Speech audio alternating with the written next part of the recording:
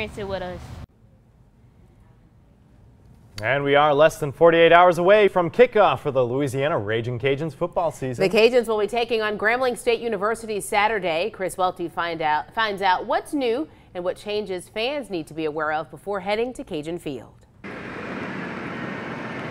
There's a certain hustle and bustle in the air at Cajun Field as crews work to put the finishing touches on the stadium. The Cajuns want fans to arrive early, wear red, be loud, and stay late. Get rowdy, let's have some fun, let's show them what the Billy Napier era is going to be about with Raging Cajuns football. The biggest change for fans is general parking is no longer free. It'll now cost you $10 to park across from Cajun Field, and you can only pay with a card.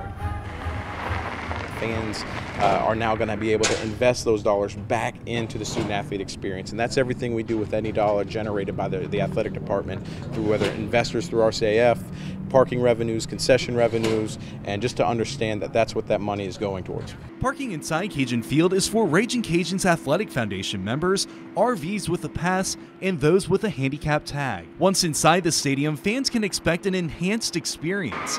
The north side of Cajun Field is the kids zone. Behind the red zone student section is the new graduate sports bar and grill. We'll have some uh, misting fans going, some DJs, some trailers with some live action games, other games around the country playing in there.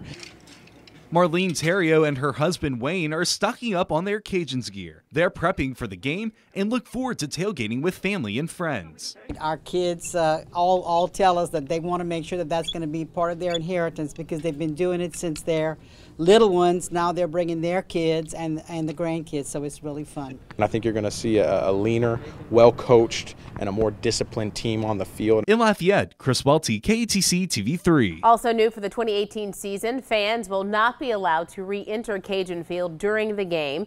For a list of all of these changes, go to KATC.com. Are you well researched?